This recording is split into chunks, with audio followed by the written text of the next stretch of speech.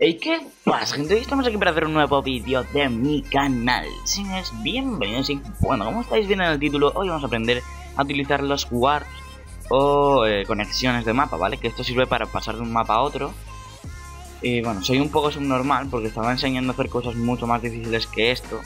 Y este se me había olvidado por completo, ¿vale? Es tan básico que no se me había pasado por la cabeza hacerlo. Así que bueno, debido a que muchos me lo habéis pedido, lo voy a hacer. Perdonadme si me notáis la voz un poco ronca o, un poco desanimado, pero es porque estoy, estoy enfermo, ¿vale? O sea, estoy resfriado, creo. Ni puta idea. Yo creo que estoy resfriado, o eso espero. Y bueno, pues eso, no creo que, influya mucho en el tutorial, pero bueno, nunca está de mal avisar. Bien, lo primero que vamos a hacer es tener nuestro mapa creado, ¿vale? Yo, por ejemplo, he utilizado el de Palette Town, lo he reconstruido y he creado el mío propio, ¿vale? Aquí lo veis. Y tenemos que irnos a la pestaña de ver eventos y donde dice cantidad de warps, pues metemos los que queramos y le damos a cambiar eventos. Le recargamos el mapa, nos pondrá si queremos eh, guardar los cambios, de hecho lo voy a hacer para que lo veáis, le damos a 3, cambiar eventos, ok y repoint. Hacemos esto, bueno, no ha hecho falta guardar los cambios y ya está, ¿vale? Yo voy a dejarlo en 2, que son los que tenía. Ahí está. Bueno, una vez tenemos el warp, lo vamos a colocar sobre la puerta, ¿vale? Aquí lo veis, sobre la puerta, ¿vale? O sobre el lugar que, en el que queréis que al pasar por ahí se, teletransporte, ¿vale?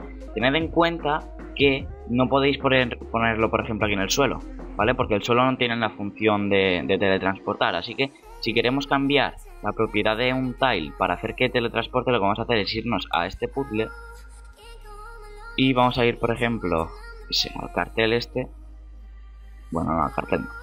Vamos a poner... Mmm, no sé, no sé. Esto mismo, ¿vale? Lo que vamos a hacer es, vamos a ponernos aquí y vamos a buscar la redecita donde ponga warp o... A ver, a ver, a ver. Aquí. Ah, esta parte son todas para, para los warps, ¿vale? O sea, cualquiera que le apliquéis así, cualquiera, os va a servir para teletransportaros. Eso sí, tenéis que utilizar una específica, la, que vosotros queráis. Madre mía, cómo me estoy trabando, de verdad.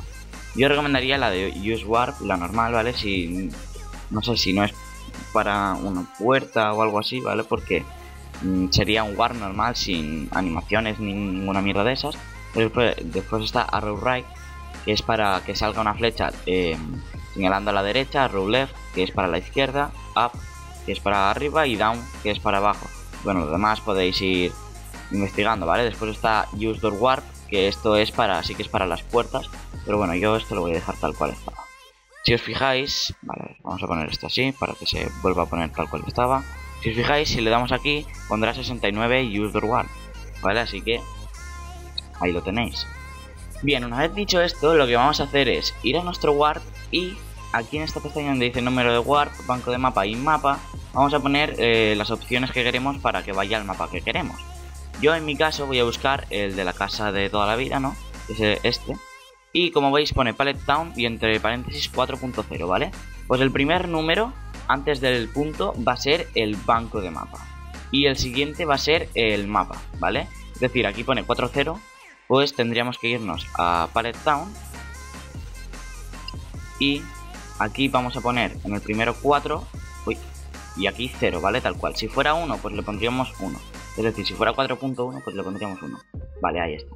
¿Qué pasa? Que ahora yo seguramente si... Si... Si entro, no me llevará al sitio que yo quiero, ¿vale? A lo mejor entro y me baja por las escaleras. Y eso no lo quiero. Pues vamos a buscar aquí, ¿vale? Vamos a poner el warp en el que queremos que salga. Y aquí veis que pone el número de evento 1. ¿Vale? Pues el 1 vamos a, a tener que poner ¿vale? El número que aparezca ahí, vamos a tener que poner aquí el número de warp. Entonces va a hacer que aparezcamos ahí. Vale, bien. Una vez hecho esto, yo también voy a poner este, que va a ser el 4, 1, 1, que es la otra casa, ¿vale? Es exactamente igual. Bueno, esto no lo tengáis en cuenta, simplemente seguid el paso que, que os he enseñado Vale, bien. Vale, muy bien, Inmortal. Me has enseñado a utilizar los warps y ahora puedo entrar a casas y esas cosas. Pero yo, ¿cómo puedo hacer para pasar de ruta en ruta sin tener que hacer un mapa mega grande contando ahí todo, todo el, toda la región. Muy fácil.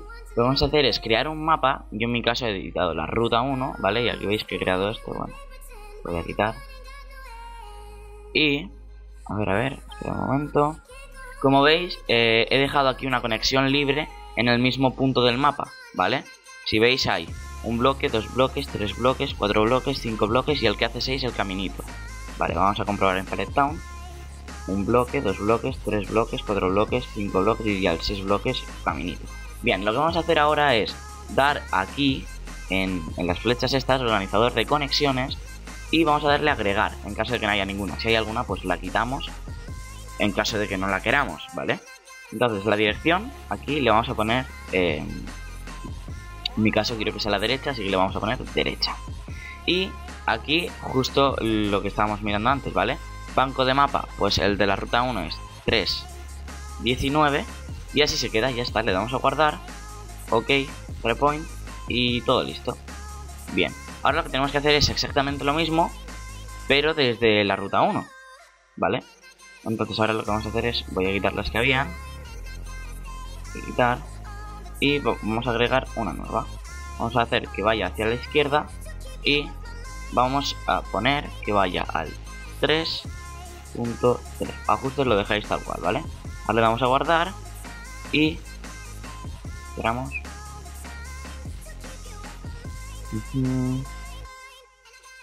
Bueno, creo que ya se ha guardado solo. En fin. Bien. Eh, ahora, una vez hecho todo esto, ¿vale? Después lo comprobamos. Eh, voy a hacerlo todo seguido y así se hace todo más ameno. Bien. A menos más corto, más rápido. O más lento, ni puta idea. Yo digo ameno, hacéis como que me entendéis y ya está. Bien, ahora lo que vamos a hacer es que mediante un script eh, nos teletransporte, ¿vale? Yo aquí ya lo tengo listo y os lo voy a explicar. Tenemos el Dynamic, el ORG, el OG, Player, el MSG Box, ¿vale? Esto ya deberíais saberlo. Y después tenemos el comando Warp, ¿vale? Pues lo voy a explicar. Bien, vamos a poner Warp, 0 por y el banco. Es decir, lo que pondríamos, a ver, aquí, ¿vale? Que es el 4. Entonces vamos a poner 0 por 4. Ahora pone map, ¿vale? Tendríamos que poner 0 por y lo que pone aquí, o sea, 0. Mm, 0 por 0. Y ahora pone exit, que eso es el warp al que queremos que vaya. Es lo que pone aquí, es decir, 1, ¿vale? Y después ya lo demás, 0 por 0, que eso son las coordenadas. Bien, eso no importa. Si hemos puesto el warp, esto, las coordenadas dan igual.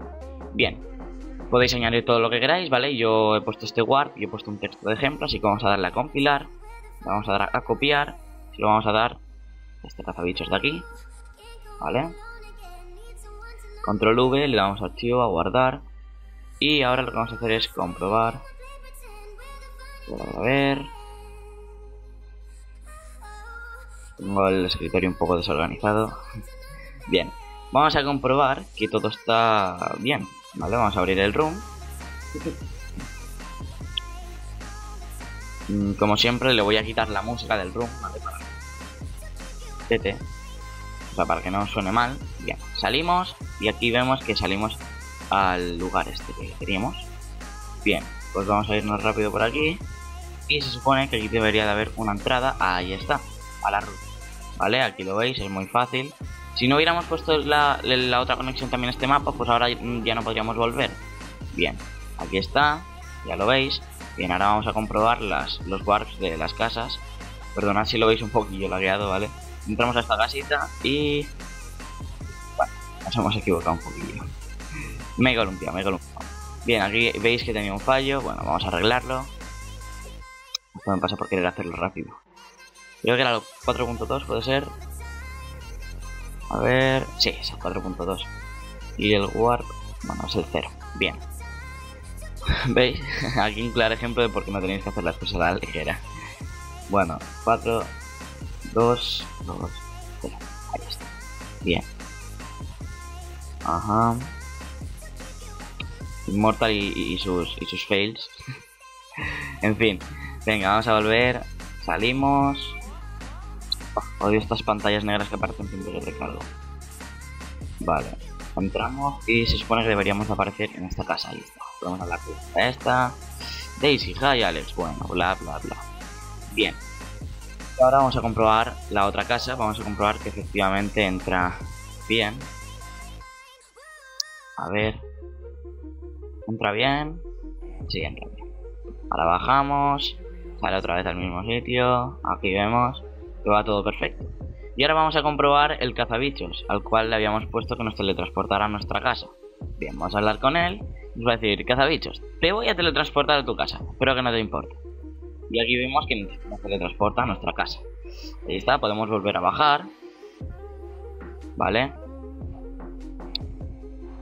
Eh, ahí está, le volvemos a hablar.